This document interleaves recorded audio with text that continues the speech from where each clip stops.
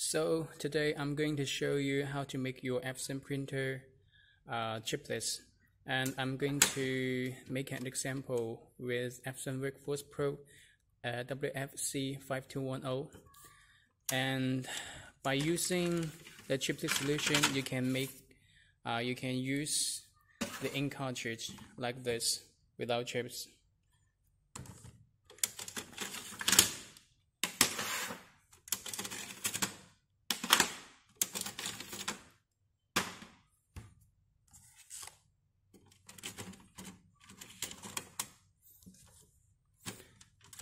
This printer is already um, modified to chipless solution.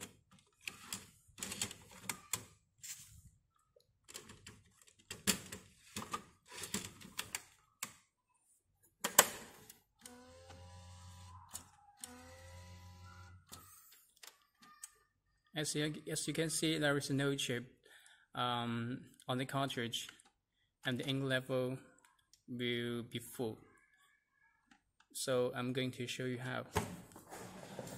To make your to make your printer chipless you need the software. We'll send you the file pack all at once and it includes the firmware and activation and activation code and manual just in case you don't understand how to operate. So let's get started. Uh, there are two steps in the process. First, you need to uh, replace the firmware with an modified firmware. And second, you activate the printer with an activation code. So open this file and run this um, this software. And before you run this software, um, you need to make sure your printer is connected with a uh, USB cable to your, to your computer. The phone, the software is Chinese version, so I'm uh, recording this video just in case you don't understand. Uh, this is next step, and click here. This one means I agree, and then next step, and next step again. See, this is the firmware you are going to replace. You are going to install this firmware into your printer and you select your com your printer here and then click here to start. So make sure the process uh, runs to 100% and you can see the printer here is now in firmware updating mode.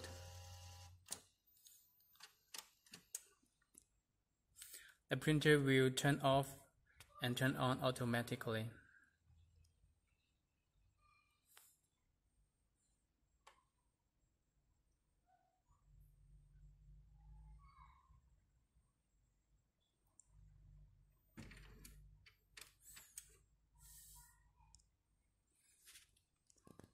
So as you can see, um, this printer is no longer chipless.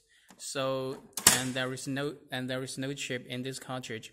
So the printer will will not recognize the cartridge because there is no chips on uh, on it. And as you can see, this the firmware is finished. So here, and then we go back run this activation tools. And okay if you don't understand Chinese this is English just in case. Select your printer. If you have uh, many other printers um, on your computer you can unplug the other printer. Just um, left this one and click generate. And this one is your uh, printer ID uh, serial number and then click activate online and go back and open this file activation code and copy the, uh, the activation code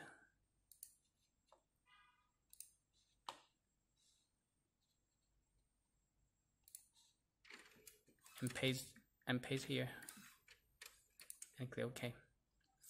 The activation will be successful, uh, successfully written and click OK. And then this is very important. Make sure you turn off your printer here. And once your printer is uh, restarted, it will be chipless again.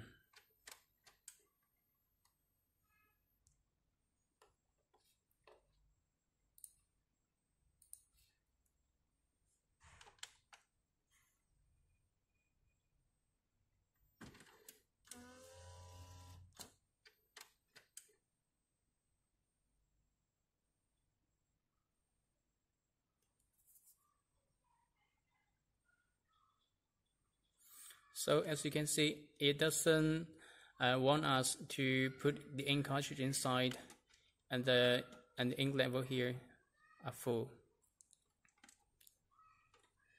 We can also print a page